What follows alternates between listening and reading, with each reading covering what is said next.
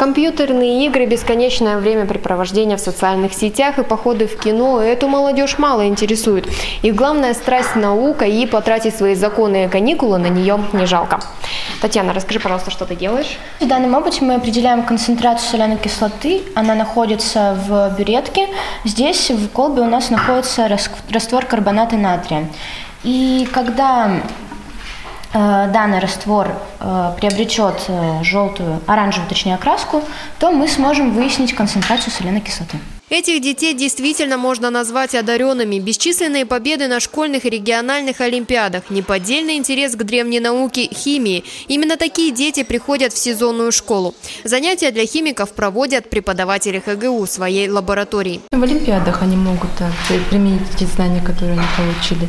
Если они пойдут после окончания уже высшего учебного заведения работать а, в лаборатории, то там, конечно же, пригодится умение титровать Методом титрования можно определять жесткость воды, можно определить концентрацию различных веществ в тех же самых продуктах. Провести свои каникулы за партой пожелали в этом году больше 60 детей со всех Акасии. Математиков и физиков набралось 47 человек.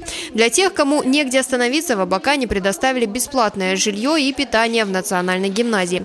Здесь же в одной из лучших школ республики педагоги проводят физико-математические занятия. Допустим, вот все, что мы здесь делаем в нашей школе для нашего класса, это полностью нерешаемо. Те, кто все же решил отдохнуть и дать расслабиться на время серым клеткам своего мозга, тоже без дела не остались. Например, в гимназии с утра и до обеда учеников ждет насыщенная программа. Комната релаксации, хоровое пение, вкусные и полезные обеды и, конечно, спортивные мероприятия. Всего в республике до 1 апреля полноценный отдых детям будут обеспечивать 135 пришкольных лагерей. Мария Добрынина, Сергей Казьмин, Вести Хакасия.